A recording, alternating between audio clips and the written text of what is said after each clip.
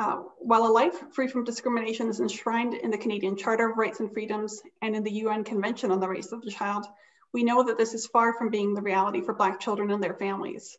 Systemic racism prevents Black children from achieving their full potential. And we want to support community efforts that are working to do something about this.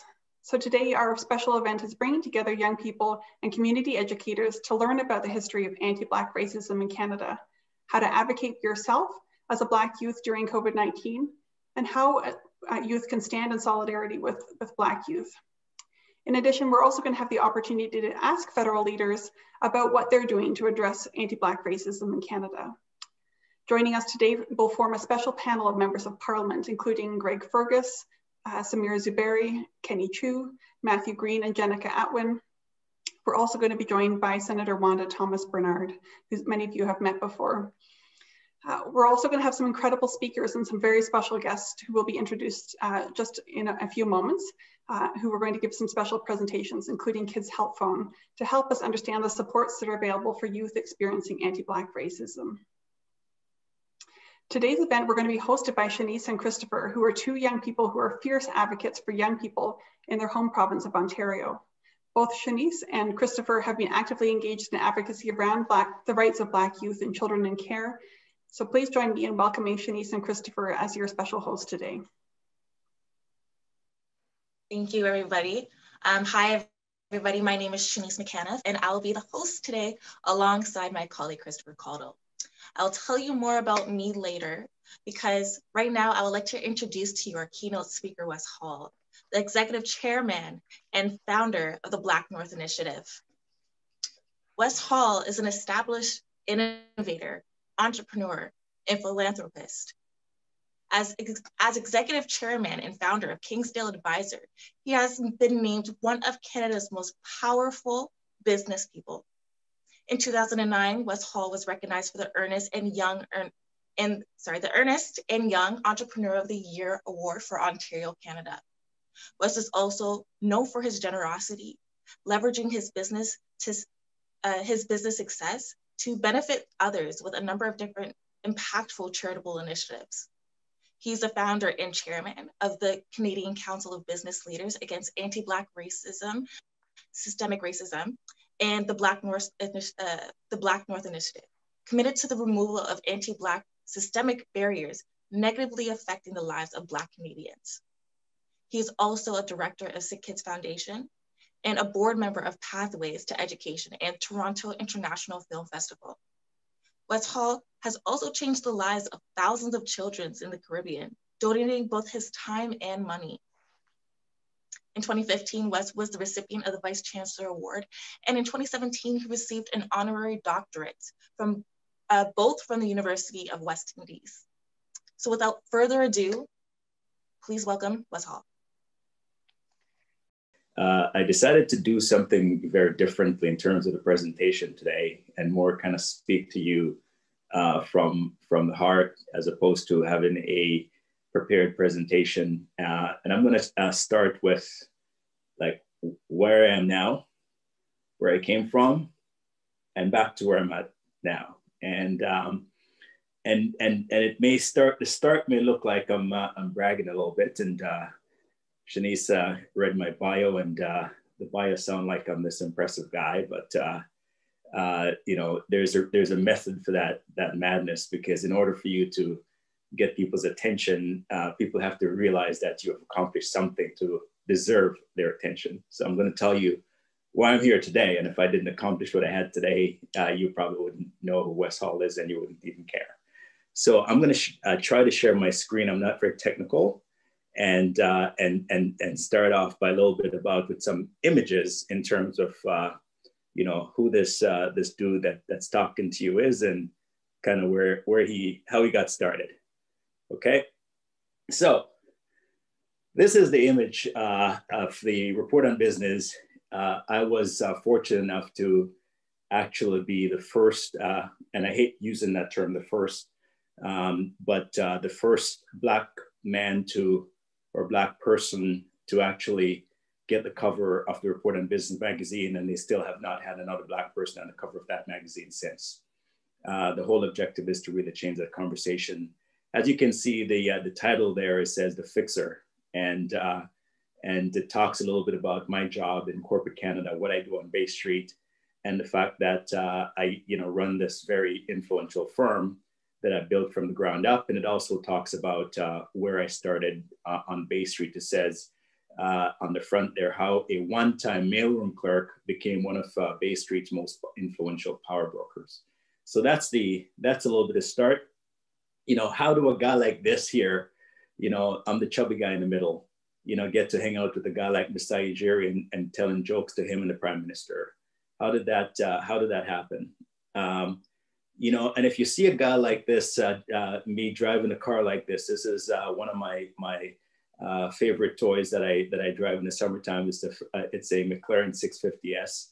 And if you see a guy looking like me driving that car, what would you think? Would you say he's a, he's a schmuck? Uh, would you say that, uh, you know, would you use all kinds of adjective in a negative way to describe him? Would you say that it's unachievable? I would never be able to be that person. I never be able to drive a car like that. What would you say, especially if the man is a black man? Would you say he's a drug dealer? You know, what would you think about the man that again drives a vehicle like that down the street? Well, this is that man. That's how he got started. This is me. This is me with my grandmother you would see that my grandmother is an older lady. Uh, my grandmother took me in when she was uh, 60 years old. And uh, she actually, uh, my mom uh, left myself, my younger brother, my older sister in a house by ourselves. I was about 18 months old. And, uh, and she left us there for days. And the neighbor realized that we're by ourselves. And she went to the plantation. My mom, my grandmother worked at the banana plantation and a coconut plantation. And she went to the plantation to get my grandmother to say, Your grandkids are by themselves. And she came at 60 years old and got me. And that's how I started to live with her. You know, I've always had style, you know, and, uh, you know, ever since I was a kid, I had that style. So the style kind of continued uh, up until this day, but that's how it got started. But this is the house that I was raised in, in Jamaica uh, with my grandmother, 14 brothers and sisters. And uh, this picture was taken when I was 19 years old. That's me standing with my grandmother. And I remember the conversation like it was yesterday. And I said to her, uh, we called her Mama. I said, Mama, one day I'm going to get you out of this place and uh, I'm going to make your life better. And uh, I never really had the opportunity to get Mama out of that house. She died in that house. She died in poverty. And um,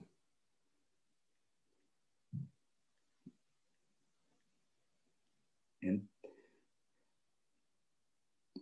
and that's it. She died in that house.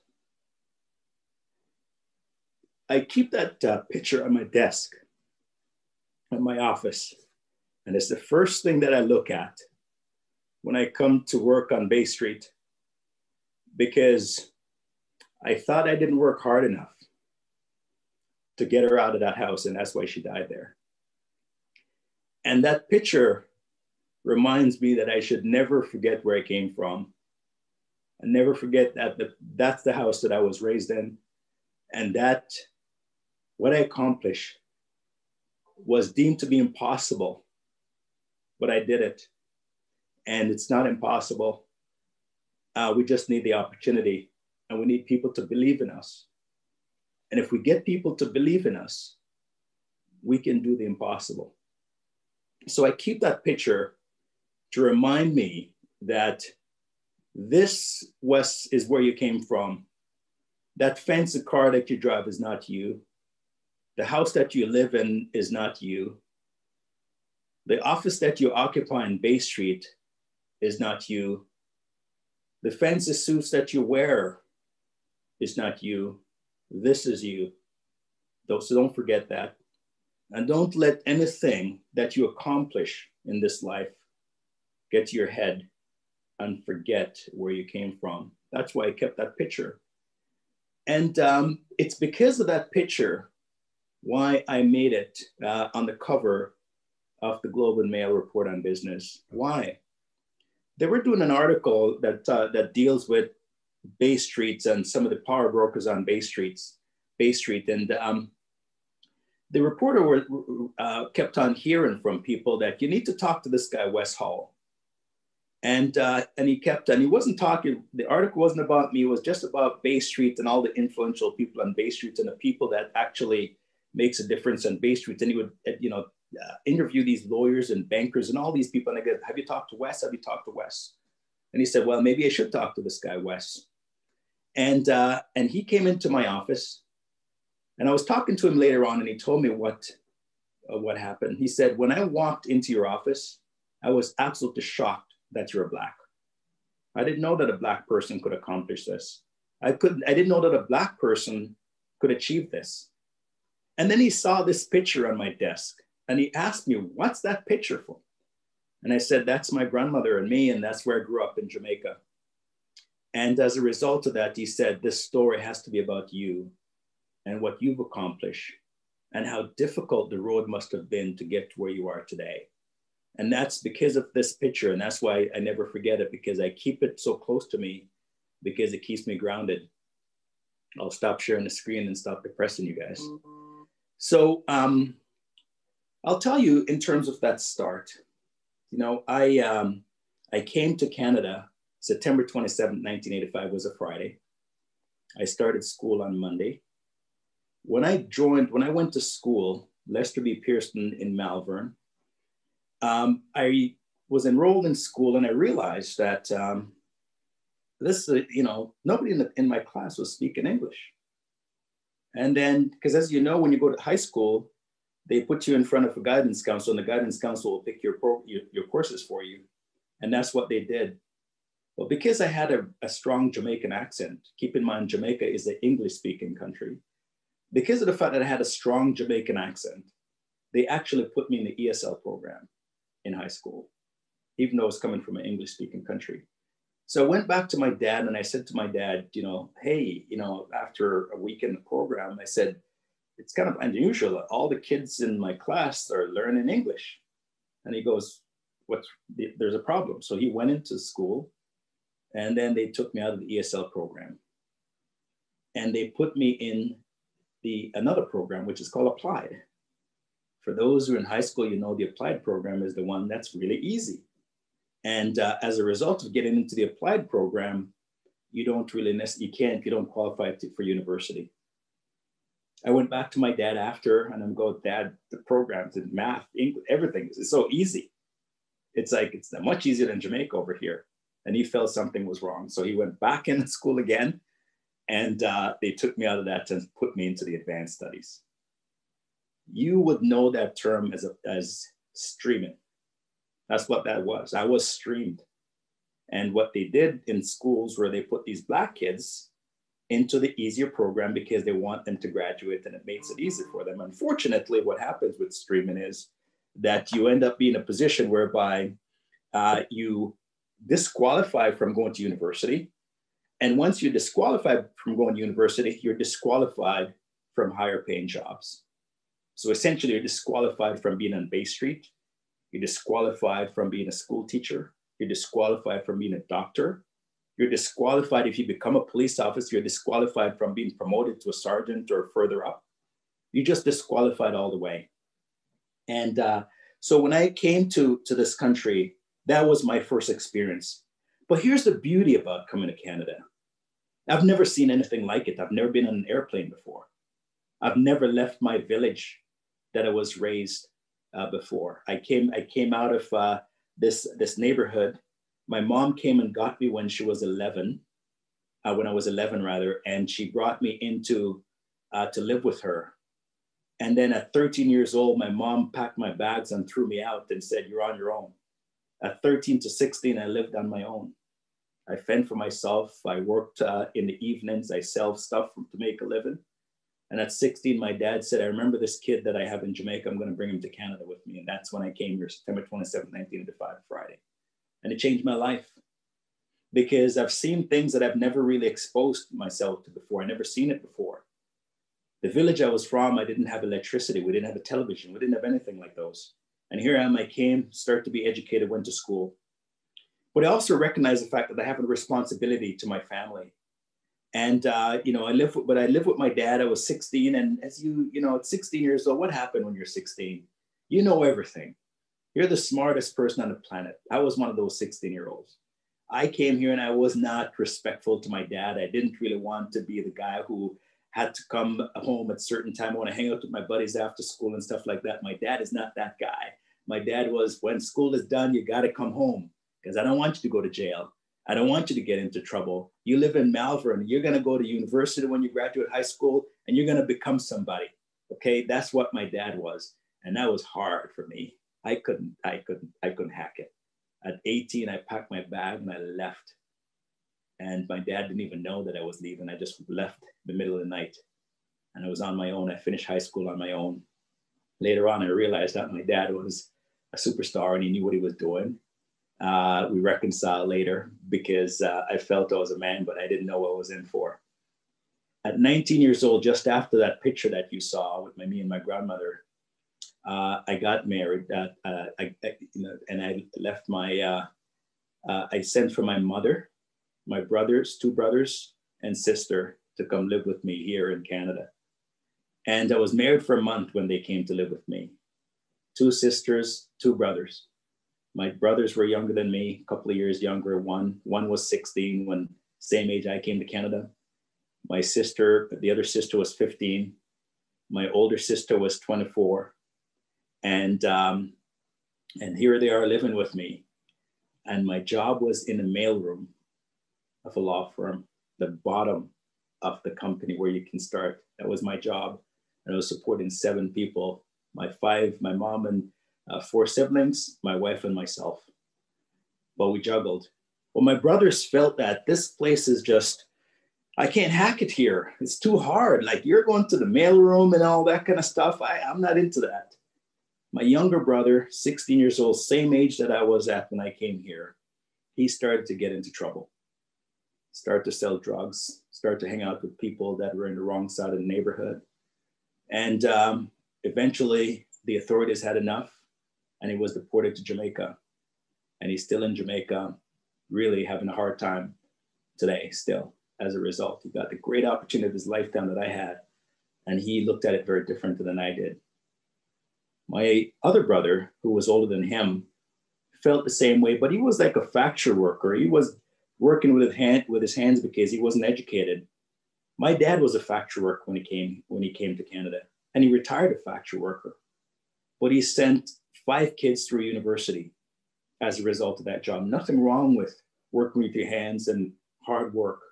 But my brother didn't want to do that. So he said to me one day, Wes, I'm leaving Canada, I'm going to the States. That's the land of opportunities. I'm going there. And um, I was at work one day and I got a phone call from someone from the from Buffalo. And the phone call was from the coroner's office in Buffalo. And they indicated that um, we found a body and uh, in the on the person's uh, uh, in their possession is your name and it indicated that you were a relative and i went to buffalo to identify the body and it was my brother uh, he was found in a dumpster. Uh, his hands were tied behind his back. There was a bag over his head, and he was beaten to death. Uh, and um, and I had to bury him. So um, that's the choices we have as young people, right? We have a choice. It's like a fork in the road. You can go right or left. Right kind of looks, uh, you know, really appealing in the short term left. It's hard work, heavy lifting. But the left direction, you know, there's an expression in the Bible. There's, you know, there's two roads. Broad and spacious is the one leading off into destruction. Cramped and narrow is the one leading off into everlasting life. Most people take a large road because it's wide. It's like a massive highway. Nobody wants to be cramped. So my encouragement to you is to take the cramp road, work hard, and uh, you'll get there. So I started on Bay Street in the mailroom, and I got here because I've met white folks that looked at me and saw something in me that I didn't see in myself. And they gave me opportunities to show them that they were right. And I took advantage of that opportunity to show them that they were right. I've always go through life with the mantra that uh, there is always somebody watching you. You don't know who they are. You don't know they're watching you, but there's always somebody watching you, and they can either help you or hinder you. But the what actions they take, whether they help you or hinder you, is all based on your action. Based on how they perceive you as an individual, will determine whether or not they're going to go, I'm going to help that kid. I'm going to help that kid. So I was one of those persons where I had something in between here, but I never had the opportunity until I met this one man, Glenn O'Farrell. Was a white man, like I said, he was 34 years old. I was in my early 20s, and he hired me. And what attracted him to me was my lived experience. I didn't know I was supposed to hide the fact that I grew up with, I had 14 brothers and sisters. I have all these trauma in my life. I didn't know that at the time. So when he was interviewing me and he asked me about my life, I told him about my life. Nowadays, would you tell an interviewer that you had a brother that was murdered and you have a brother that was deported and that you have 14 brothers and sisters and you live in a tin shack? Would you? No. We're told to hide those things about ourselves, but we shouldn't because it makes us who we are. It makes us unique and authentic. And so we, we're trying to change corporate Canada to say, look at people's lived experiences before you hire them, right? Because those people are the ones that's going to change the world because they have a conscience and they it makes them think and behave differently. So I got those opportunities and I kept on taking advantage of them when I get them. I just kept on doing it. And I kept on climbing. And somebody say to me, Wes, when are you going to stop? When are you going to stop? And I say to them, I'm going to stop when someone tapped me on the shoulder and said, You've gone far enough. Because I didn't expect that I would get this far. So who knows how far I can go, right? And so you just keep on going. So there's always going to be people that you've met along the way who look at you and say, You can't do what you set out to do. Those goals that you have for yourself, you cannot achieve them. And I say to you this that they're putting their own limitations on you. And don't ever let somebody else put their own limitation on you and what you can accomplish. So I am pretty fortunate to be in a position where I am today. But why Black North?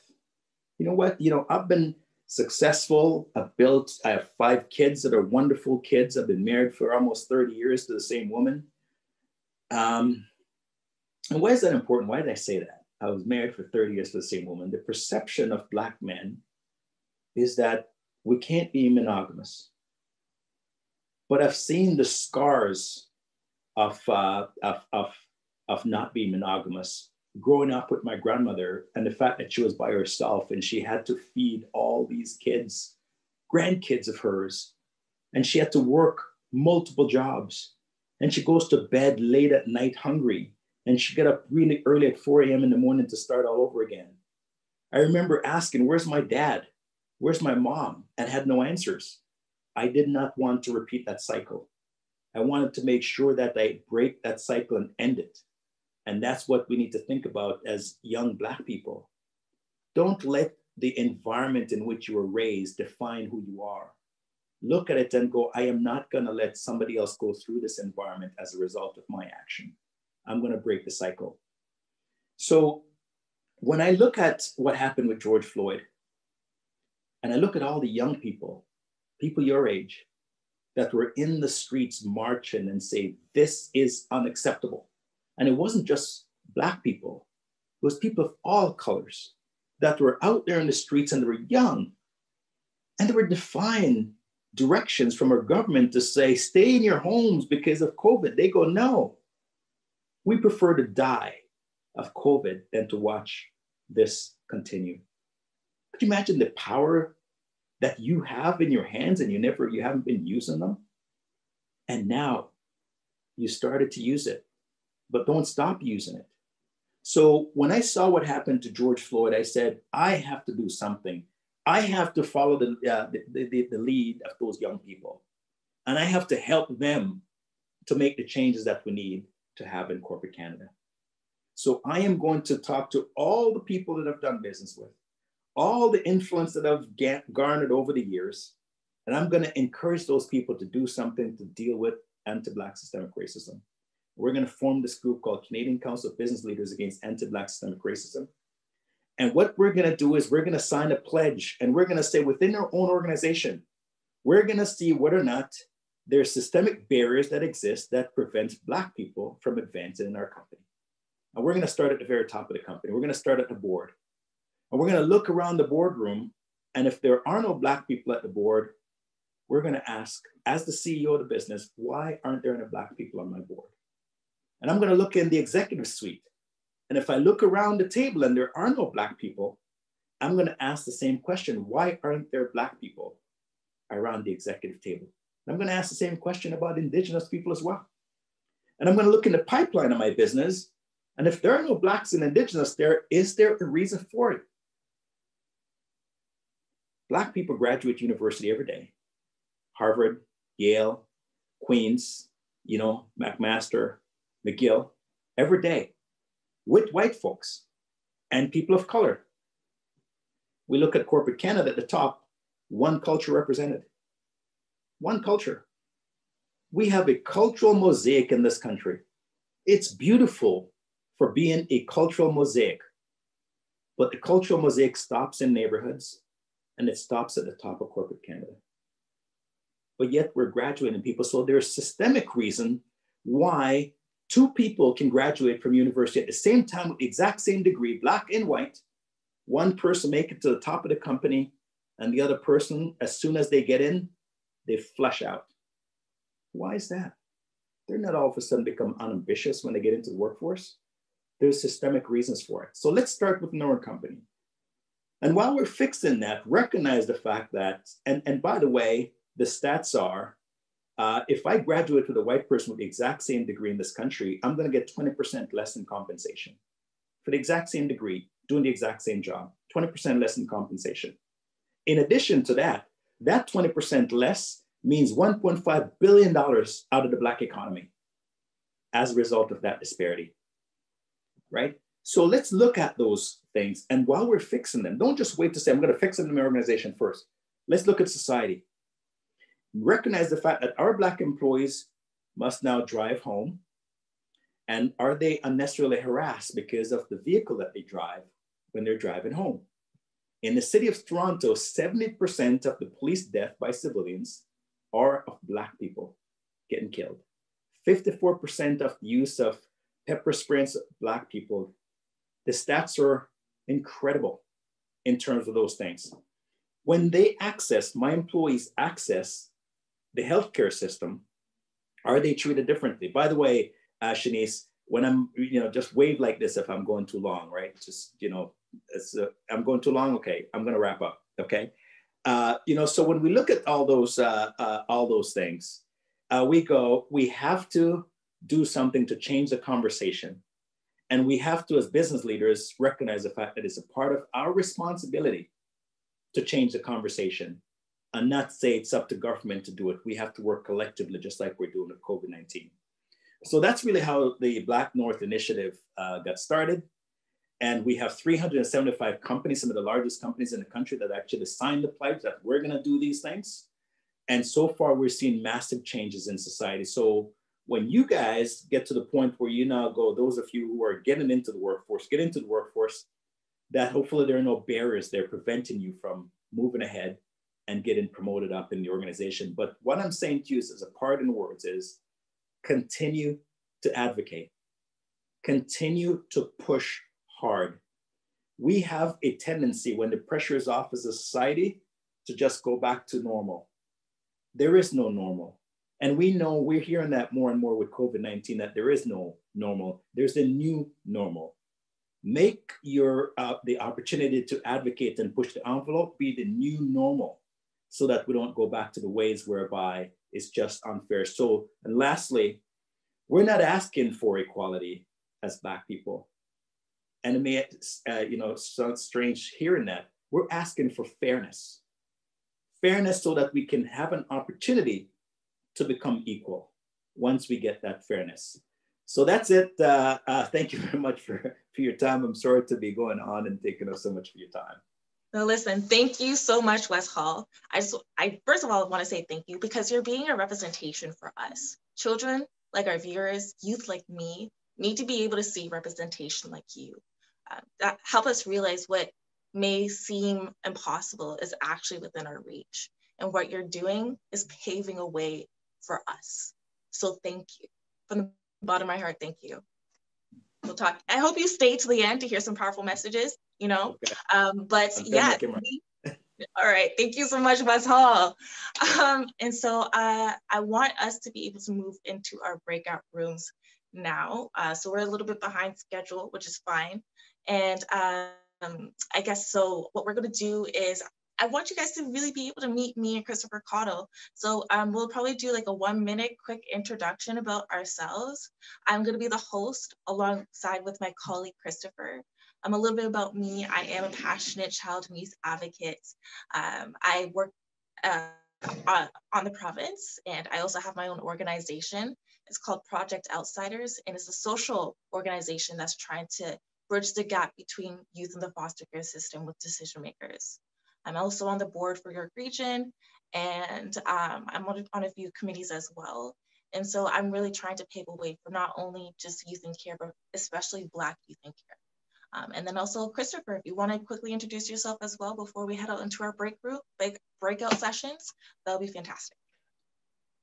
Yeah, so uh, nice to meet everyone. My name is Christopher Caudle. Uh, so I'm just a Black youth uh, advocate for um, youth in foster care and from care.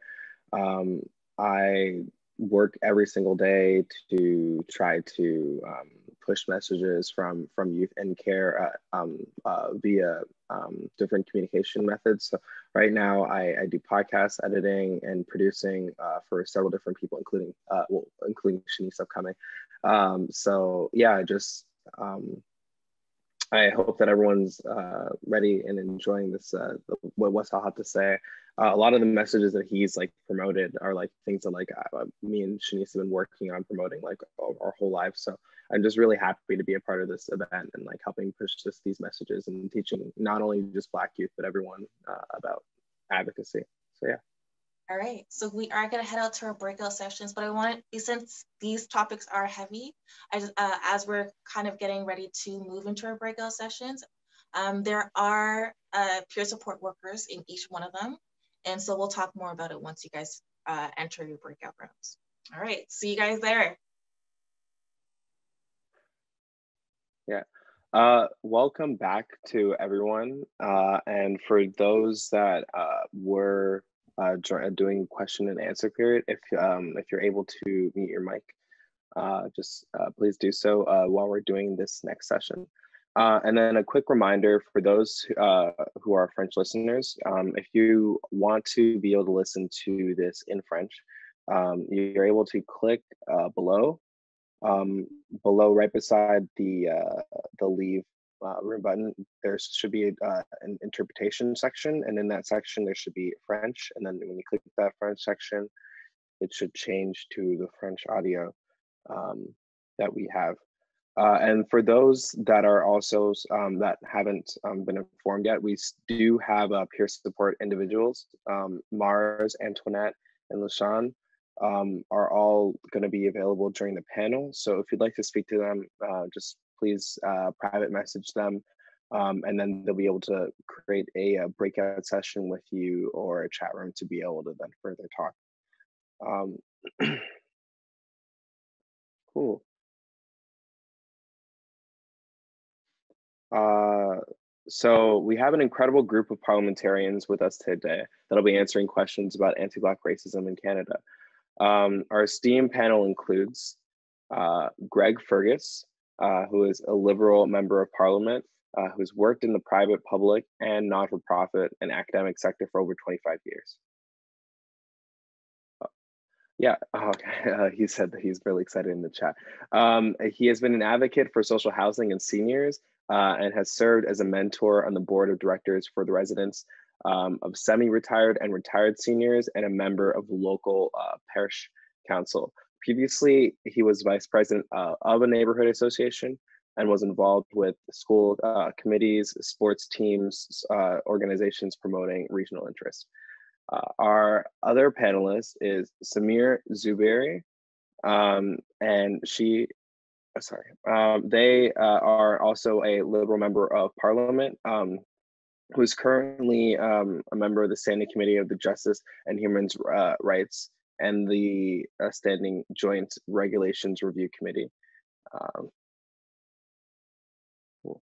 uh, from from an early age, uh, he, uh, they they've been building bridges between communities and promoting dialogue and mutual understanding. Uh, this has led him to, over the past 18 years, to work and promote diversity, inclusion, human rights, mutual re respect between communities, and play a leading role in protecting.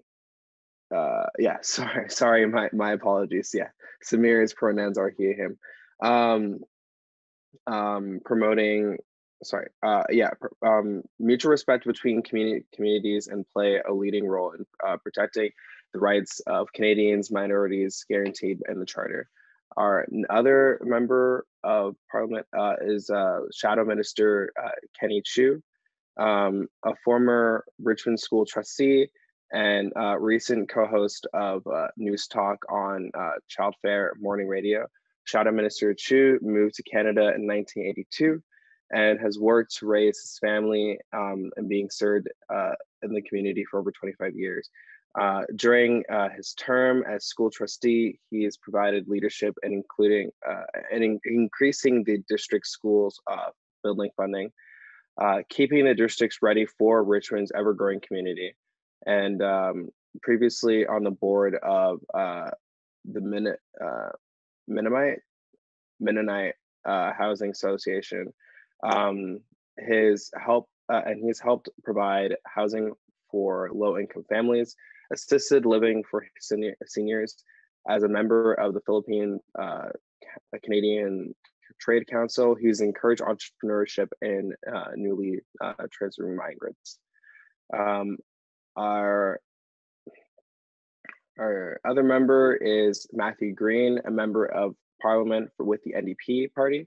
Um, he's um, accomplished community organizer and has served for over a decade to advocate with barrier-free access to healthy um, living on First Nations territories within intercities, Hamil- uh, Hamilton Hamiltonians. That's how you pronounce it uh, and has passed the Blue Dot motion, making Hamilton the first city uh, in Ontario to adopt the Environmental uh, Bill of Rights. And I also really appreciate that name. Uh, it is a very uh, beautiful name. Um, and uh, this advocacy opposing, um, is an advocacy opposing police carding, racial profiling, with direct impact on provincial policies, resulting in more stringent regulations with um, with how local police interact with their communities. Um, and uh, we are also um, gathered with uh, Jenica Atwin um, this afternoon, who's uh, she is a member of the Green Party um, of Parliament and represents uh, Fredericton, British, uh, sorry, New Brunswick. And this is a mouthful and a lot to say all at once.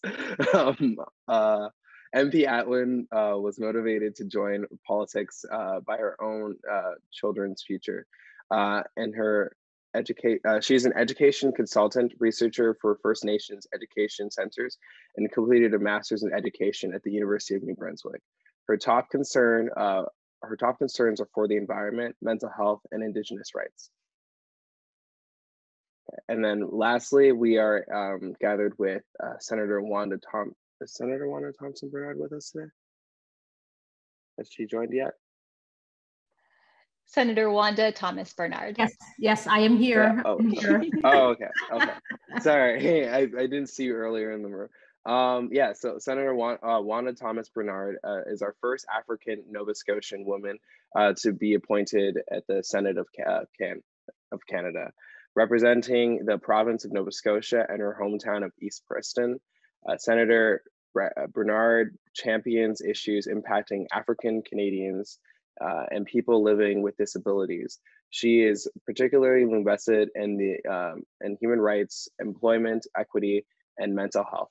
Uh, through her involvement with the community projects, uh, her social work career, um, her time with Dalhousie uh, School of Social Work, and her work with the Senate, Senator Bernard uh, has maintained a deep, dedicated social justice and racial uh, racial justice. Senator Bernard advocates for reparations for historical uh, for historic and continued anti-black racism impacting the lives of African Canadians in her work.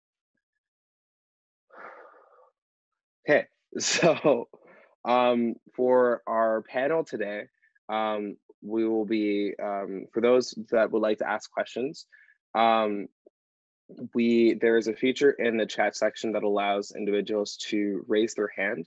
So um, people uh, that like to ask questions uh, that or have asked questions or written questions beforehand to be asked now um, will raise uh, raise their hand and then they'll be put into a queue um, in which uh, the, um, and this will let the, the, the host know like who wants to say something without inter interrupting the actual speaker. And then um, after each question is asked, I will go through and direct uh, the question to the appropriate um, to the appropriate individual. If there isn't anybody who's willing to ask questions, we do have some uh, questions set up beforehand um, uh, to to ask the our, uh, our our panelists as well. Um, okay. So, okay, so it is, I guess it's time to ask our first question. Uh, yeah. We don't like to ask Chris, it's only Kelsey. that one panelist speak at a time. Sorry, it's Kelsey here. I'm so sorry to interrupt. Do you mind if we maybe practice raising our hand? Because I want to make sure everyone knows yeah. how to do that. Is that okay? Yeah, yeah, yeah. This was a process beforehand. So it is, uh, yeah. Um, if you like to, so one thing, so how we uh, go about practicing raising our hand. So on the bottom section beside the chat section, there's a participant uh, area. And in that area, you go and you'll see the list of all the participants in the chat. So you just click the section right beside mute me that says raise my hand, and then you'll be put in, uh, we'll, we'll put you in the queue to be able to ask your question. So Thanks, if you'd Chris. like to now, um, anybody could go and go to the participants. Okay, yeah, so cool. So I've seen Caitlin has raised her hand and uh, we'll go about this process. It actually goes in order of individuals that do raise their hand. So uh, we won't get lost in track of a, a person um, losing their place in line. And then I think once you've raised your hand, make sure to lower it just to make sure you don't stay in the queue. Yeah. Yeah. yeah. Okay. Um, okay. Um, I guess I just need to.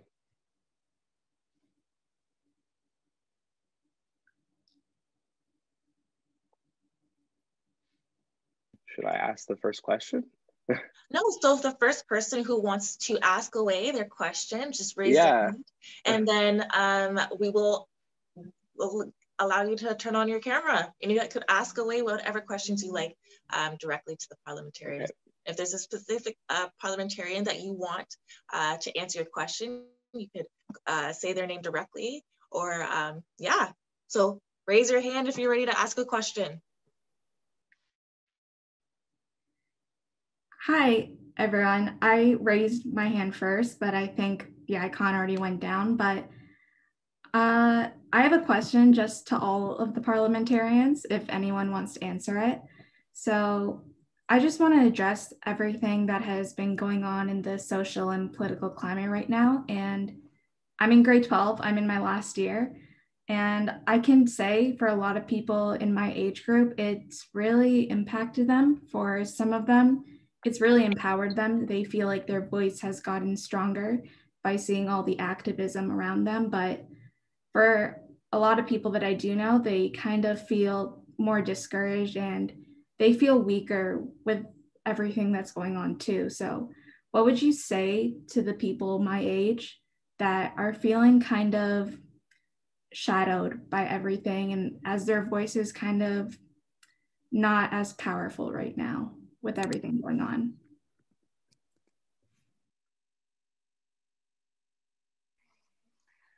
So Chris, did you maybe want to direct our first question to MP Greg Fergus, and then we can move through uh, parliamentarians uh, from there? My audio device just died. Okay. Uh, okay. Yeah. yeah. So um, I guess, uh, yeah, Senator um, Greg Fergus, would you like to, uh, sorry, not Senator, sorry. Did you want Senator Wanda Bernard to speak first? I, let's give um and Pete yeah, Chris, no, I saw I you vigorously well, nod your head. yeah, no, no, I'm just like, I mean, because if, if he wants to be a senator one day, it's possible.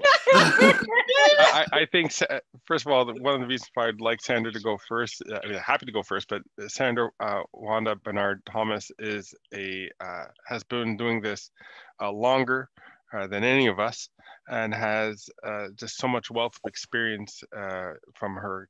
I think she'd be ideal to start this off and really to, to frame the debate. So what he's really saying, what my esteemed colleague is really saying is she's the oldest one on the panel.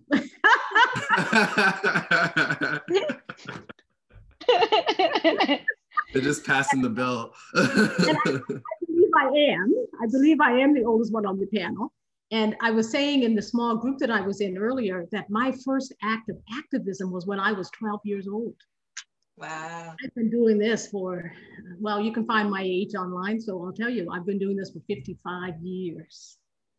55 years. And when I think about that, if I think about that too long, I start to feel weary. But my grandsons reminded me just the other day that they helped to keep me young and certainly young at heart.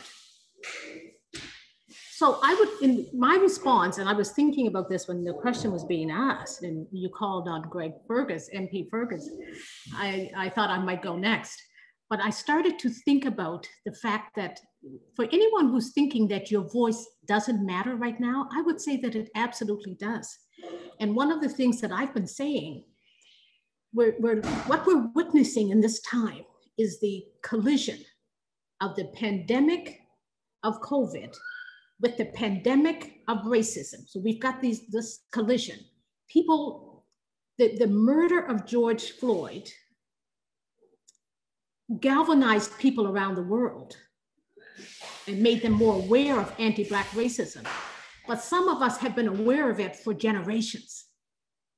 And, and, and, not just aware, but experiencing it. And so on the one hand, I'm certainly hearing from people that uh, they're a little frustrated. Suddenly, you know, the world is awakened to anti-black racism, and as though it's as though the last 400 years uh, didn't really matter, didn't really happen, but but they have, and we're very aware and very attuned. But one of the things that I witnessed that gave me incredible critical hope was the fact that so many young people were out there protesting. So many young people from around the world, you know, every race you can imagine, every, um, you know, every country, every community, people, multiracial, people said enough is enough and they were out there protesting. I was quite worried for some people because they were protesting without masks. And that made me a little worried because, you know, personal safety is important. But people were so angry and needed to use their voices. And one of the ways they did that was through protesting. And so those, the fact that people did that around the world meant that people around the world were listening. And we need to keep it going. We need to turn this Black Lives Matter moment into a movement and young people, you, you folks, you will help us to do that. And we need, everyone needs to be part of that, um, part of that journey. We need you to step in and move forward, or if you've already been in, to continue to work, not to grow weary. If you do grow weary, recycle yourself. That's what I always say. I don't, there's no time to be tired, just recycle, recycle that energy. But we hear you, we see you, and we support you. That's why we've given up a Saturday afternoon to be with you because we love what you are doing. So thank you. Cool. So would anybody else on the panel like to address the question Um, I would like to add something. Um, so I mean, I just just thank you so much for that, Senator Bernard, as well. And um, it really is about getting out there and being active and then you'll you'll see that there are other people you know to, who are with you that you're not alone and you kind of feed off that energy. I find myself that whenever i feel um, feel that weariness um, that I it's and it's because I haven't been around a lot of people and and then I mean in my role and certainly it's it's changed uh, throughout COVID. But anytime I get back out there and I, I join a rally, um, as an example, um, you know yesterday we we gathered for uh, Mi'kmaq Rights in, in Fredericton and just being with people with that that like-minded uh, passion for change and and and that positive transition that we're looking for. You know I fed off of that and it really helped me personally. So things like this are incredible and I just want to thank again everyone who put this together because here we are. You know, there are so many people who are joined together in this kind of common common front um, to really confront social justice and ensure that uh, we do better in our communities. So thank you for this, and this is what it's all about. Is uh, you know, you're not alone, and so that can help deal with some of the kind of the the darkness that can sometimes creep in. Just know that you know there are here that support people that support you and uh, appreciate you, and are just so proud of what you've been doing. So thank you so much. Great. Um, so let me just go back to our question. Uh, so our next question comes from uh, Rebecca, and it is for MP Fergus. Um, okay, so my question is kind of, um, we kind of know through this that our voices are important, um, but how can we make them count? How can we take action but make it matter? How can we take action in the right way?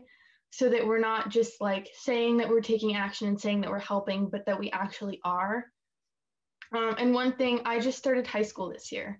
Um, and I haven't yet, but I know that there will probably come a time when I run into that or that I witnessed that. Um, so, kind of just along with that, how can you, when you're a witness to that, um, how can you talk to people and try and educate people um, and try and make people aware of this while still making it count? Great question, Rebecca, and, it, and it's similar to, to Caitlin's question. So I think the, the thing I'd say, look, um, you do matter, you do count, your voices do mean things. And I always, I don't know why, I like Senator Wanda, I, I've been involved in, in act, been an activist since 11 years old. And um, I just always figured that, you know, the future is not written. And what we do today will determine what you know the actions or the things that we're going to be able to do in, in, in the future. So just don't be afraid don't let anybody tell you that you don't matter or your voice doesn't count or you can't get to there. Um, you can uh, you just have to work at it and you have to work really really really hard at it sometimes to to make it happen. So for those who you know or, or, or, for those who might say your voice doesn't count because you, you just started high school that's sort of called cynicism uh, you know you know you, it doesn't matter what you do the system will always win.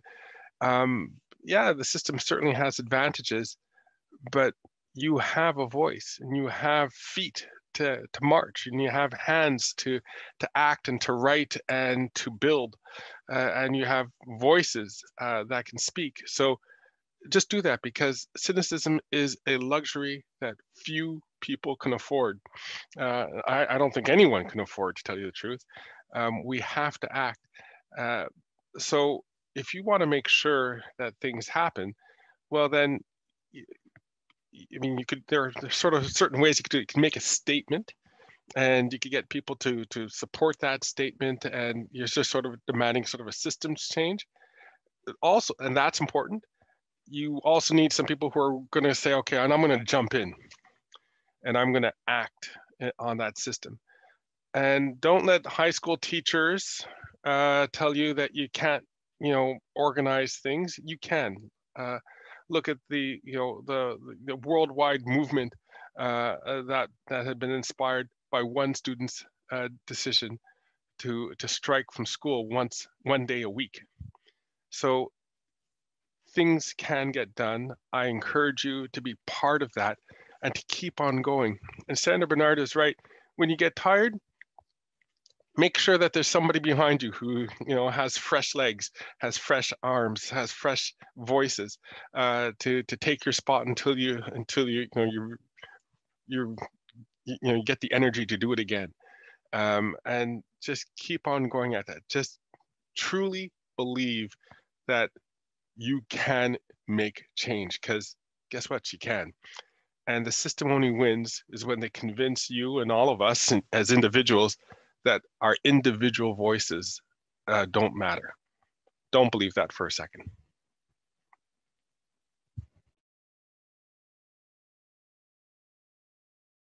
Uh, Shadow Minister Chiu, what would you like to add?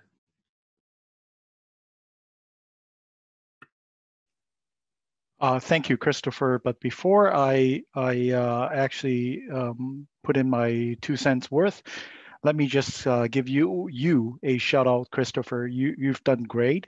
Uh, it's it's not usual that you have the opportunity to address uh, different uh, politicians, from senators to MPs and all that.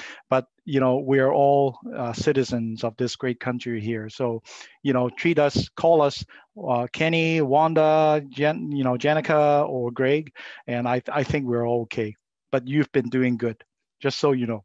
Um, I, I can only draw up upon my um, uh, experience, but uh, in response to uh, Caitlin and other questions here, I think I think it, it's important to remember that we're we're here for the long haul. Uh, Canada definitely it's not a perfect country, but through our 150 plus years, uh, we've come a long way, and um, and and we have made uh, many, many incremental uh, changes to our country and, and correct its path from the from the wrong direction. And and it's a it's a I would draw the analogy of, of a marathon it takes generations and generations and, and people like yourself to to carry the baton from one generation to another. It's it's very important uh, in that analogy that the the athlete it's actually making sure that the his physical condition is actually the prime. So likewise, uh, in our generation, we have to examine ourselves and make sure that we don't um, harbor any uh, discriminatory thoughts about any races. Uh, and then also then we persistently send out the same message uh, with strength and with unity. You don't run um, you don't run a marathon without the preparation and and i would argue that uh, it, it's similar things we need to exercise ourselves we need to have the persistence uh, we need to have trainers and mentors like senator bernard and and help us to guide us you know what what do we do in in this in this uh, situation uh, in the uh, in the middle of uh, a movement, it's easy to get involved and uh, get excited. But it's important to understand that when the so-called movement, when the moment of the movement subsided, when it is no longer as glamorous and, and it's trendy uh, to, to join, this is the moment that we need to keep on pressing and keep on continuing our effort.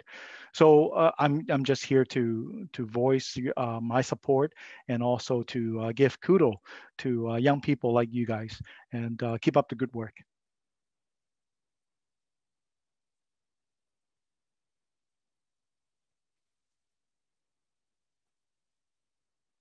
Uh, so our next question is for uh, is from Alita, and it's directed to uh, Sameer Zuberi. So I just I would like to thank um, everyone here for participating, especially the panel and all all the kids here, all, the youth here. It's really it's really um, important that we're talking about this, we're listening, we're engaging each other. This is really important. So I would like to thank you that's my um, introduction. Uh, I actually have a question for the panel in general. Um, so when we talk about, you know, the issues that we're seeing right now, racism, uh, homophobia, and sexism, and all that kind of stuff, we see that, but, and the thing is, some of our youth, I'm not saying, I'm not over generalizing anything, It's just that um, unfortunately some youth they feel this they have this sense of apathy. They are like desensitized to uh, black issues, especially seeing um, uh, violent stuff going on. So if anyone's on social media, which I know a lot of you guys are, um, you would see sometimes there, there are trigger, triggering images and there's sometimes uh, there's uh, you know videos of graphic stuff happening to minorities, especially to black people. But the thing is, those people who do share it, who do spread the voice, they're not um, proactively amplifying the voice of black the black community, but instead they are sort of uh, just jumping on it as like a trend, as um, you know, like it's a trend, and it's really sad to see that. And so, how do we amplify and pass the mic on to the Black community, the Black, trans, and queer community? That's my question. So, yeah.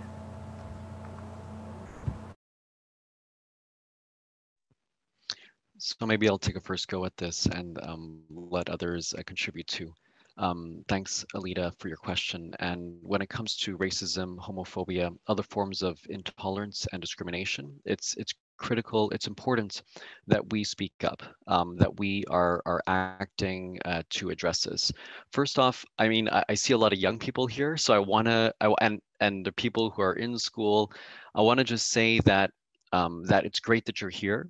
Um, it's great that you're learning about this, and a lot of these concepts might be a bit complicated uh, for you. Um, I, you know, and but it's really i think excellent that you're here right now i would encourage you uh, all the young people and e the older people if you're learning anything it's important that we share it and talk with people around us about what we're learning, uh, be it our, our family, our, our friends at school, um, our parents, our children. Uh, it's important that we actually share what we're learning in this, in this sitting. Um, I, I would encourage everybody to do that. Somebody asked earlier, how do we actually make change? You know, how do we actually impact change? It's by actually doing exactly that. By talking with somebody in our lives about what we're learning here, we're going to create change because we are lucky to be part of this Zoom call. Not everybody is here with us. Um, so, so by sharing what we're learning here, we're going to be creating change.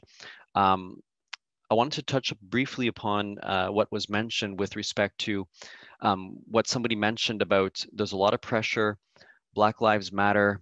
There's been a lot of kind of weight on our shoulders um, it's important that sometimes we we step up and get involved. But when we feel a bit tired, it's okay to step back for a bit, not permanently, but for a bit, and then we step back again, um, front to the to the to the, to to the front. I'll I'll finish with this last point, um, which touches circles back goes back to what Alita mentioned. Um, myself, I'm not black. I'm a person of color, uh, like you are, Alita, and many others are. Um, we don't experience um, anti-Black racism. We do experience some form of discrimination based upon who we are, the impressions that uh, people have about us.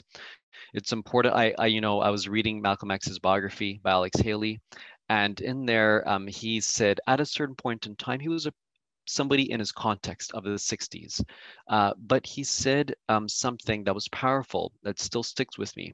He said that that everybody who's not black should stand behind the black person and and follow their lead not in those words but he did say that something that means exactly that and that was a very powerful statement and it stuck with me till today and for myself I, I do stand uh, with with um, Greg and with um, with um, uh, Matthew and with uh, Senator Wanda. I, I, I take their lead contribute in the conversation, but do take their lead. So just want to leave you with that point. Uh, uh, MP for um, MP Greg Fergus, would you like to follow up? I'd love to, Christopher. And just remember, just Greg and Matthew and Sameer. Sorry, yeah, I'm, I'm sorry, I'm so formal. um, Alita, thank you so much for that question. Look, uh, I think you know Sameer is being very uh, very modest. He's also been a huge leader on uh, fighting uh, and uh, Islamophobia uh, and, and making sure that there. Uh, he's been a national leader on this for for a very long period of time, and so I'm you know I'm I'm just lucky to to, to count him as a as a as a friend and colleague. and uh, to have his support. Look, you're. I'm so glad you mentioned other fights as well, um, whether it's sexual orientation, you know, uh, identity, uh, uh,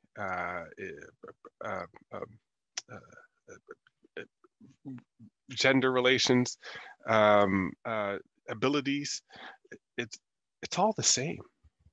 It, it really is all the same. When I was a kid growing up uh, in, in suburban Montreal, I grew up in a Jewish neighborhood uh, that was mostly Anglophone, and I was one of the few uh, Black people uh, in that whole, you know, town in the West Island of Montreal. Uh, and we lived in a French city, in a French province, in a, you know, mostly English North America. So, you know, minority within the minority within the minority. Um, you just see things differently. And to me, that's a source of strength um, because you could see the things that the majority can see, but you could also step back and see things differently. I'm certain as a young woman, you probably see things differently uh, than young men in, uh, in uh, amongst your peers. And so, you know, that that is an important aspect uh, that you need to keep it and, don't see it as being a, a weakness, it's a strength. And the fights that you fight to ensure your place is my fight. And if we all extend to each other that same kindness, that we see another person's fight as our own, and as Sameer, uh, in quoting uh, Malcolm X, and we stand behind that person to lend them support, that's really powerful. It says two things A, that you matter, that you're worthy, and secondly, is that you know that you are not alone. And that just goes, that that's good for anybody's soul. Yeah.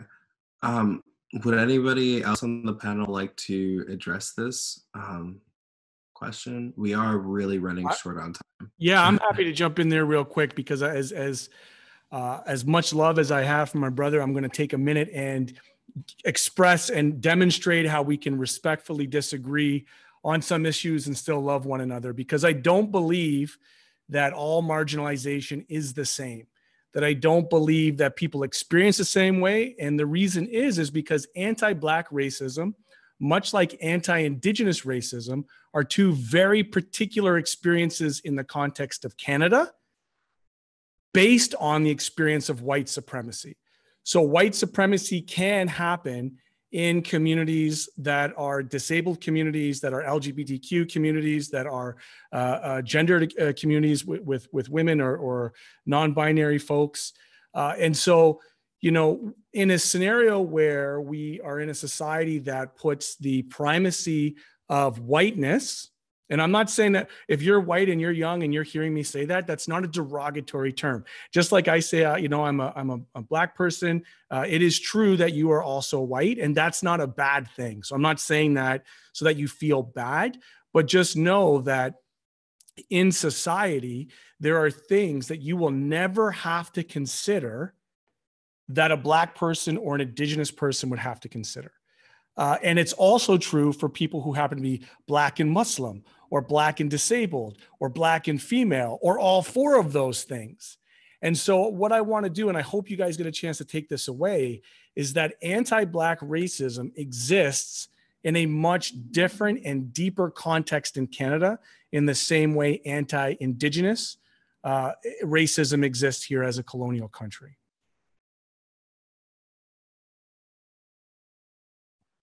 Can I just add something quickly about um, the social media context that Alida uh, alluded to? And there's also agency in in how you use those platforms um, and protect yourselves from some of the the the negativity and just just overt um, you know hatred that you can sometimes come across um, and you know what i often do is if i see something i don't like i am not afraid to report to ensure that those accounts uh, you know are, are, held accountable and i've gotten people removed off of twitter or off of facebook for some of the things that they're saying um, so there is agency uh, that you can employ when you're when you're using those platforms um, so be sure to protect yourself because um, you know sometimes it can feel that you can't escape it and that can be uh, you know a really heavy feeling to carry around, um, but just know that you can you can block, you can delete, and you can ensure that those people can't, uh, you know, that their words can't continue to hurt you. Um, so, I, and I do hear what you're saying. There are people sometimes that just share things to share them, and they're not adding to the important conversation and the actions and intent that we need to see behind them.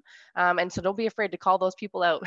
we need to name it, and we need to, you know, to acknowledge what they're doing and, and make sure that they're held accountable for that. So that, that was a really important question, Alisa. Thank you so much. Can I, can I just add to that? Oh. Jenica raised, I'm sorry, just because she raised such a good point. And it's just that don't believe that every person you see on cyberspace is real. I'm the second oldest. I mean, Senator Bernard might be the most experienced. I'm the second most uh, on this panel, and so I'm not native to uh, to you know this digital world. And so I never made that connection in my head that any person I see on Twitter is an actual real person. Okay, the real people you meet are the people who you invite out to come out to show up at a rally together.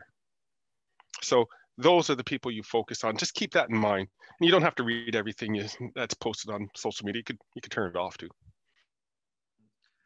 Can okay. I jump, can I jump in with just one comment, please? Yeah, and we'd also like to hear from Kenny if possible. We uh, we are really we have no other time though. Just very quickly, I'll just yeah. say in the, in the, workshop that I did, I talked, I, I shared some um, uh, some ideas around being an ally, and one of the th- and also talked about intersectionality, and which I think Matthew was just highlighting. But I wanted to uh, what I wanted to share here was the importance of people being willing to have the difficult conversations, and I, that came up in our small group as well so have the conversations. And I don't think we have those conversations well if we're trying to do it uh, online through Facebook, Twitter, other social media. So, so we have to be willing to have those conversations. So, you know, a telephone call, uh, enter the dialogue. Don't be afraid to do that. Thank you. Uh, I feel like the event is uh, starting to run on Black Standard Time, um, and out of time. Um, but I uh, I would like to uh, get a, a, one last comment from Kenny, and then I would like to address uh, the, the opportunity to speak to the uh, Kids Helpful Line afterwards. Well, thank you, Chris. Um, it, it's definitely not running on Chinese Standard Time because you started on time. now, I, I think I think the uh, eh, just one last very brief final point is we have uh, we have to find uh, our own battleground to fight. Um, Canada, it's a very diverse country. Um, in the Pacific Coast, for example, uh, what we were facing was significant uh, discriminations and racism towards uh, Oriental communities that was here before too.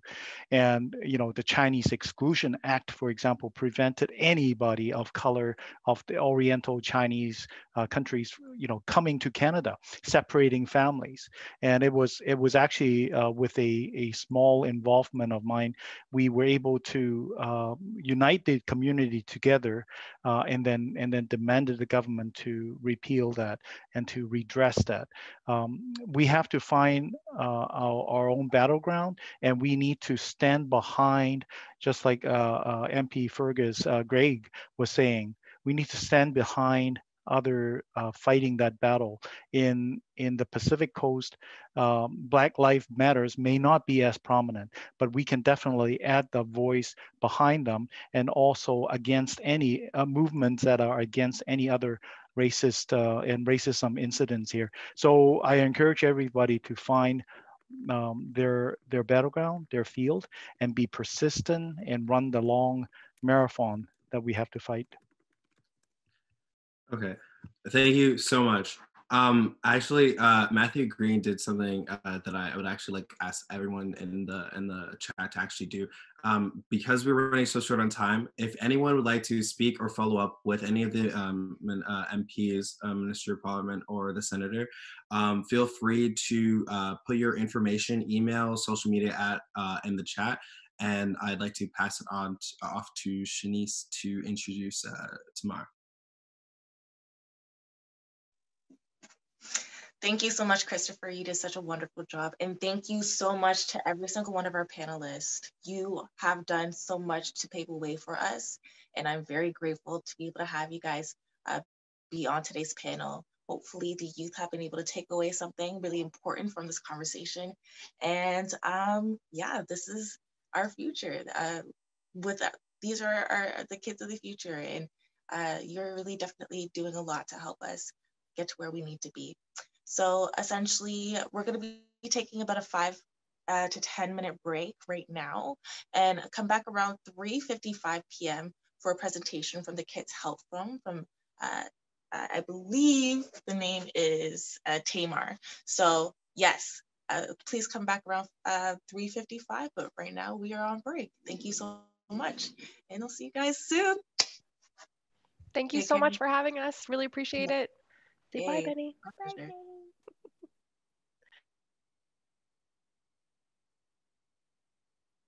Hi, everybody. Thank you so much for coming back and coming to the final portions of our event. This is going to be really exciting. Before we go off into uh, my closing speech and then into our performance, um, our special performance, I want to introduce you to Tamar, who wants to uh, kind of talk to you guys about um, the Kids Help Phone and a lot of the data that they've collected around Blacks. So I will so, now pass it on to Tamar, so go right ahead. Thank you so much. So as Shanice mentioned, um, my name is Tamar Brannigan. I am absolutely honored to be here. Uh, this has been very inspiring just to see even the last, uh, you know, 10, 15 minutes or so. Um, and I'm one of Kids Help Phone's managers of community crisis responders for their crisis texting service. Um, so really, I'd just like to start by sharing a couple of statistics to illustrate um, the tolls that these decades of injustice has had on Black people and their mental health. Um, so the Mental Health Commission of Canada shared that African and Caribbean Canadians are more exposed to factors that lead to poor mental health, um, insufficient housing, greater unemployment and poverty, lower education, and higher levels of criminalization. And Dr. Kwame McKenzie at the Wellesley Institute shared that racism increases the rates of psychosis and depression um, by 200 to 300%. So that's, that's massive. And then finally, uh, the city of Toronto shared that social stresses, including systemic discrimination and microaggressions, actually put Black people at an increased risk of anxiety, depression, uh, suicide, and suicidal thoughts. Um, so what does this mean for our Black youth? So Kids Help Phone is the only 24-7 national e-mental health solution for young people. Um, and we know firsthand the impact uh, that anti-Black racism has on youth. Um, so over the past few months, we've been seeing young people who text our, text our service um, discussing racism to be some of the most stressed of all of our service users.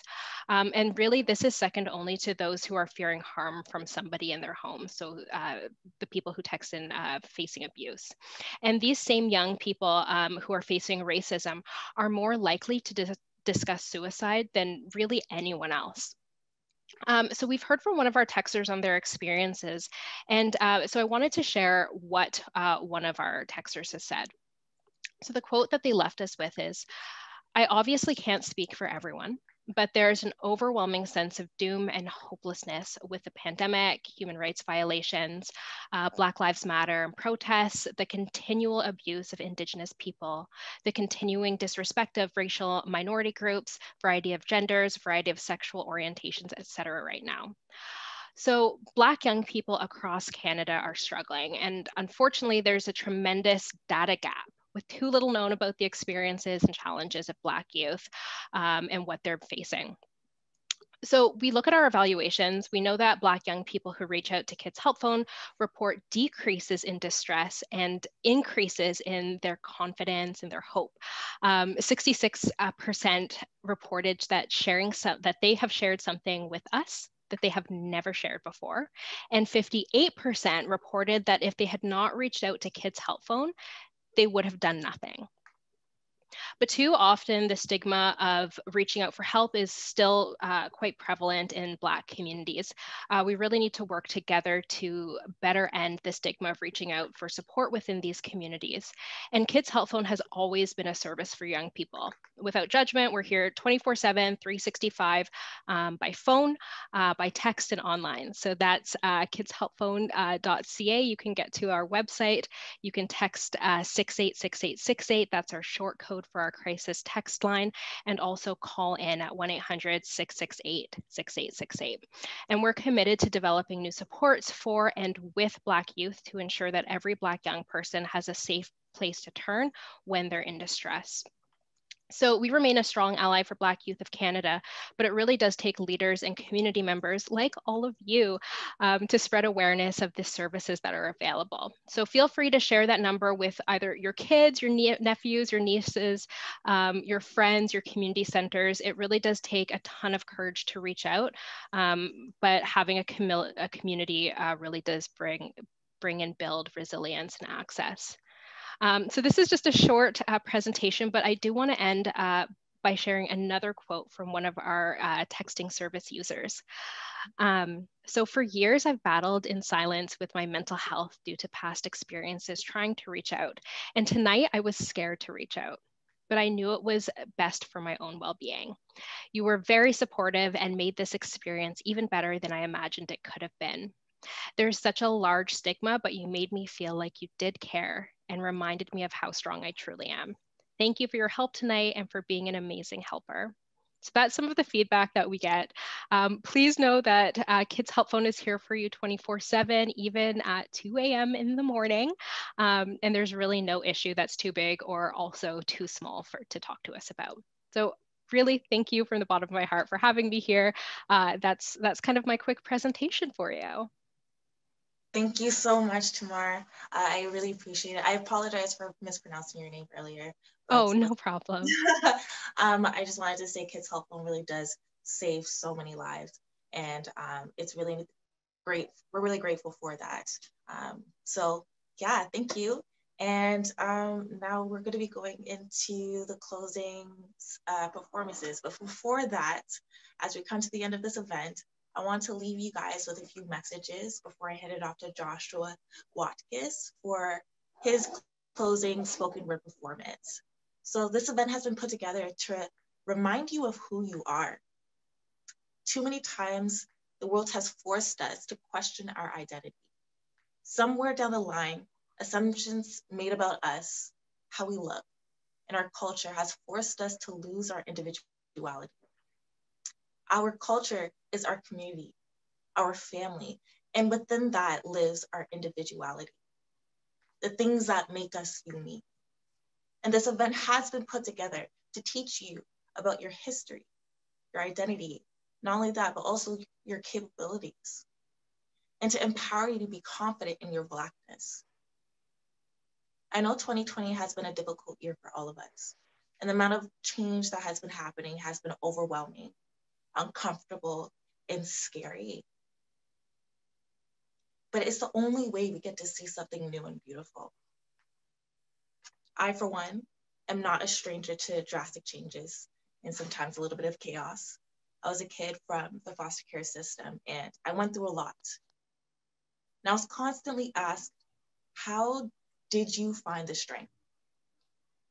I've asked that question to myself plenty of times. And I've reminisced ar- uh, around the answer for a very long time. And looking back at the things in which I've experienced, the amount of adversities I've had to overcome, I couldn't tell you how I found the mental strength to continue to fight. But then I started to also ask myself, why am I constantly experiencing all of this trauma and hardship? What did I do wrong? What is this something that I deserve? And essentially, I wanted more for myself.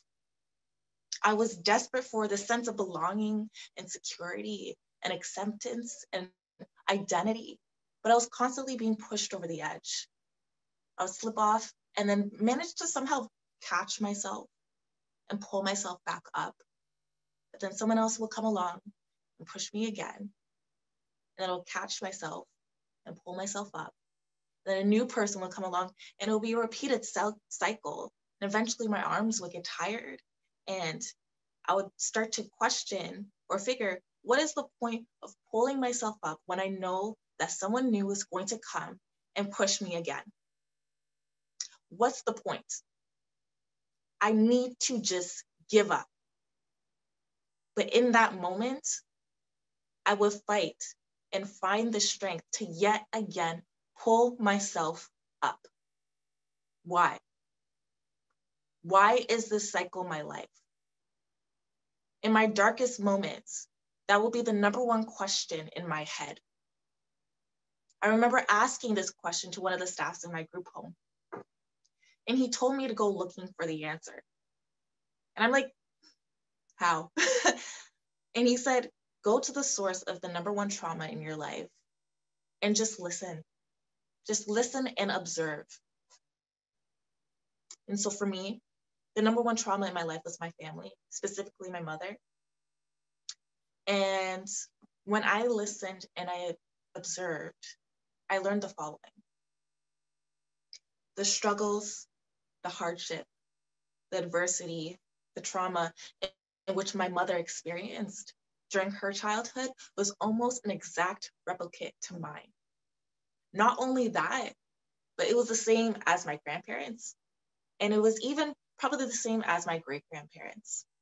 And that is when I learned about intergenerational trauma.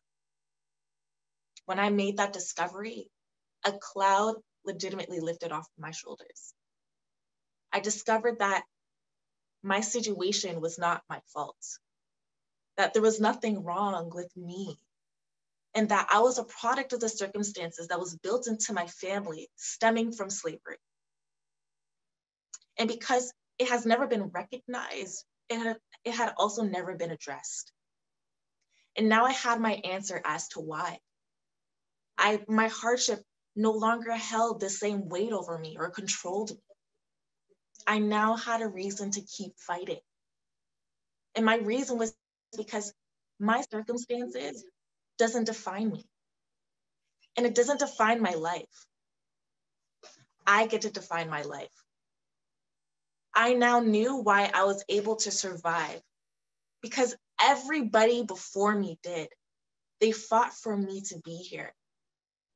The reason why I and every one of us are so incredibly strong and resilient is because it was built into our DNA. This event is here to remind you that you were built and bred from kings and queens that at one point ruled nations, that your bloodline comes from powerful and brave leaders that at one point fought for equality. Our culture is still here because we're too resilient to leave. So,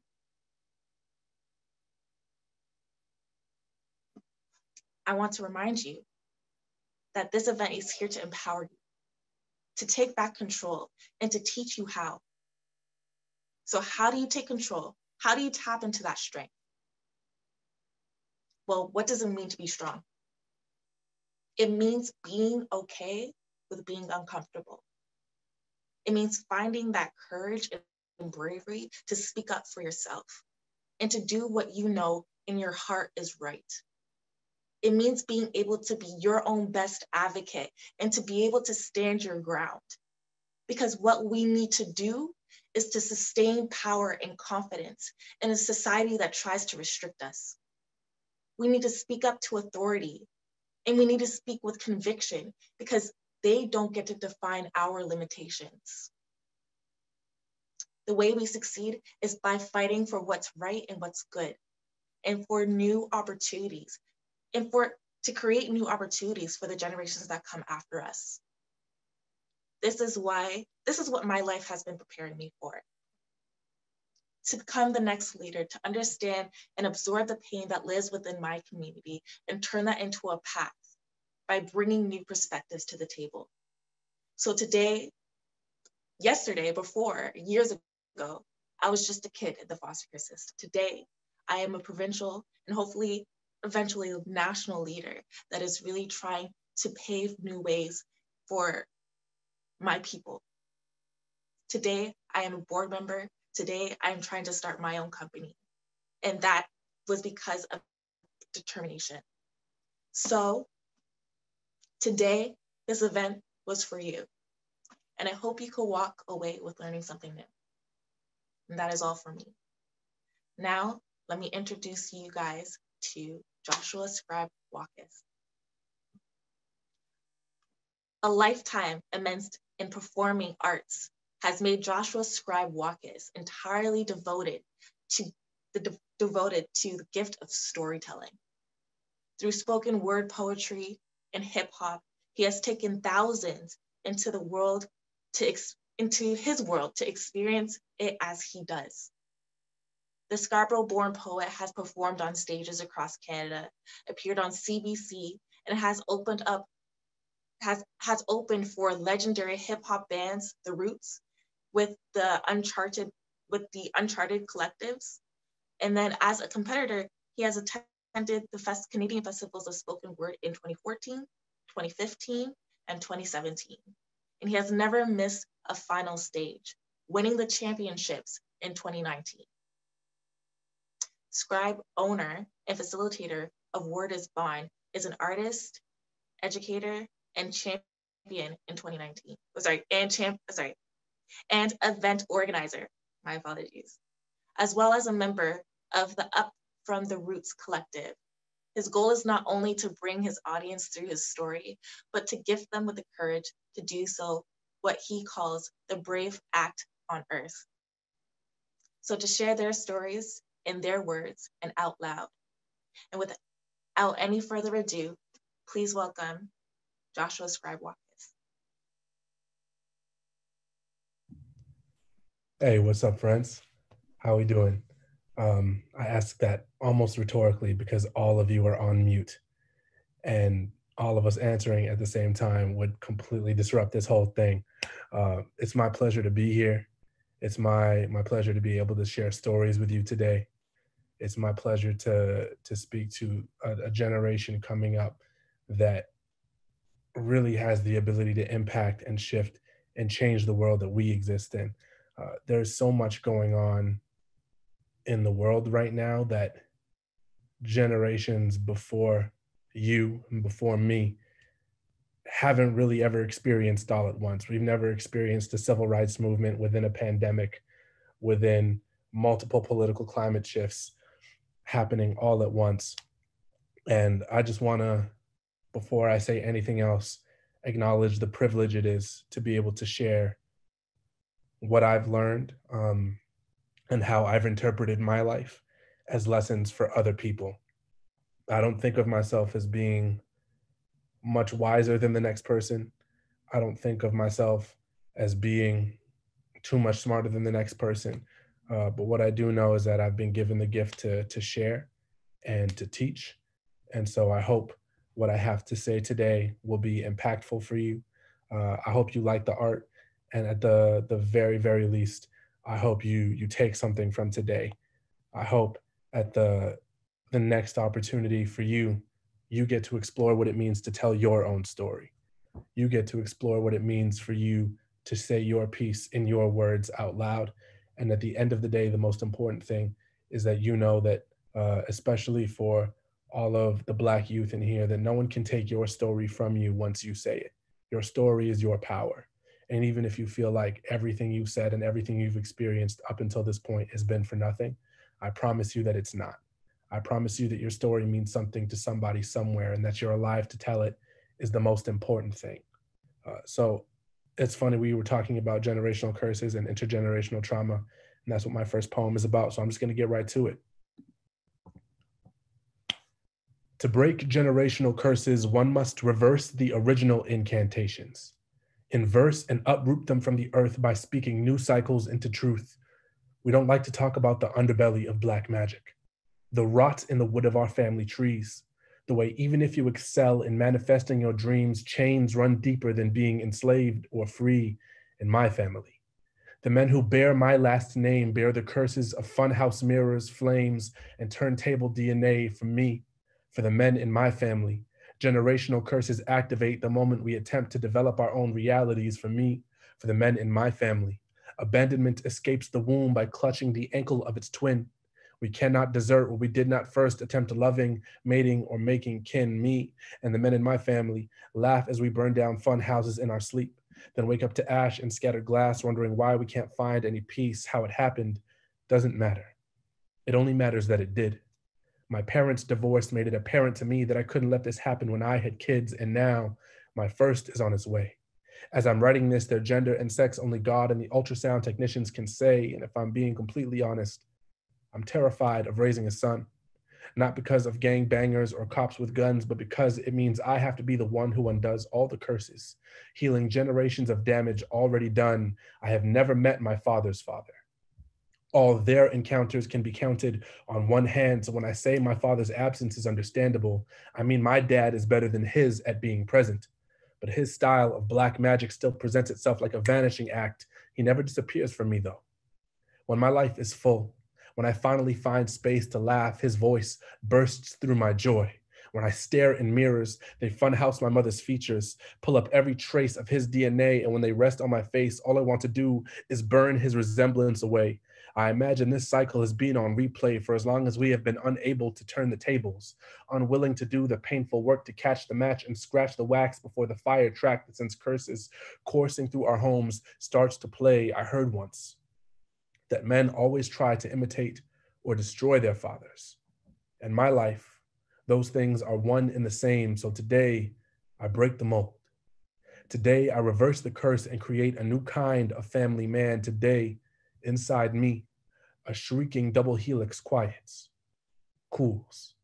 The funhouse folds into one unburnt reflection. My gaze meets itself ceases seeking to punish my forefathers by sabotaging my own life, my glass image gains gentle palms and permission to leave the arson of homes to deadbeats past at last. I am adored and feel no call to cremation at last.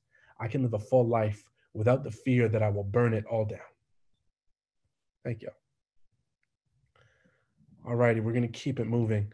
Um, the next poem is about uh, as bluntly as I can put this, uh, anti-black racism uh, and its origin.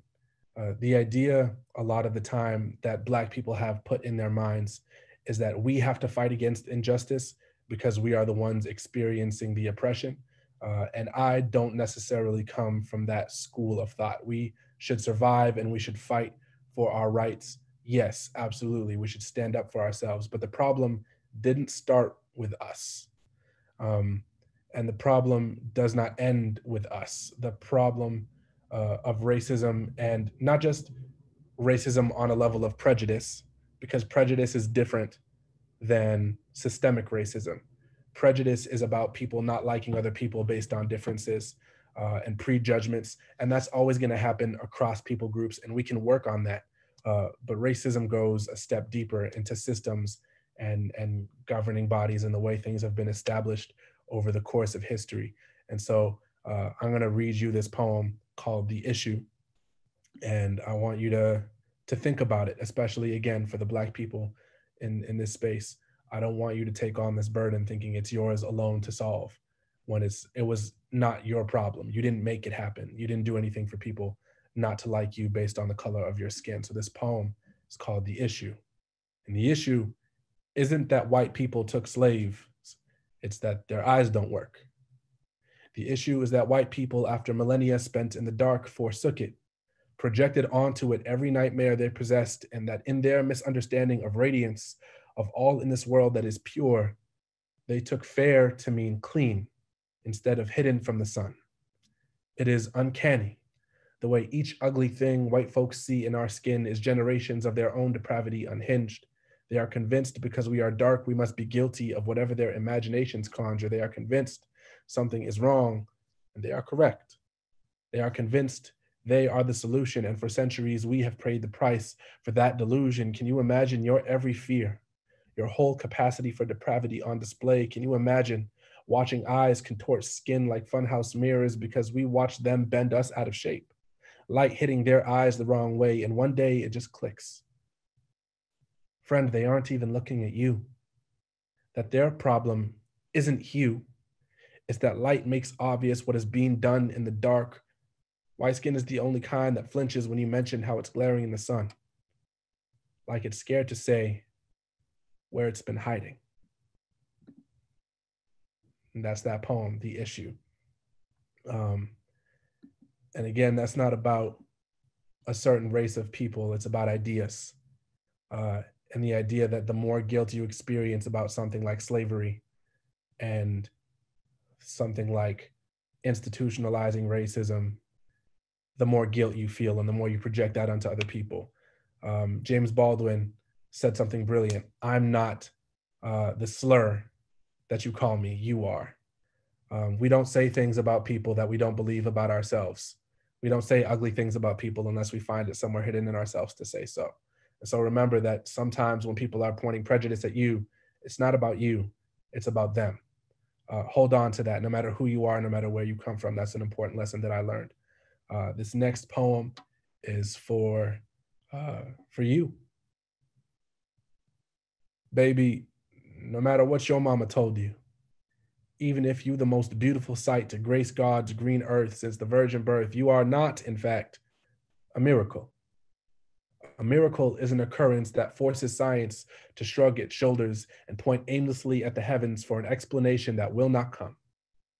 Baby, I heard one too many reports regarding the flesh and bones of us black folk, how we achieve the impossible through some mystical force etched into melanin, every feat achieved attributed to black magic. And while it sounds fantastic, I find myself full of resentment. A longing for a basic self esteem amongst our people has turned inherently tragic to my family. The skin folk who are kinfolk, remember you arrived on earth, much like I did, quite the opposite of miraculous, soaking, scared, and most likely to no one's surprise.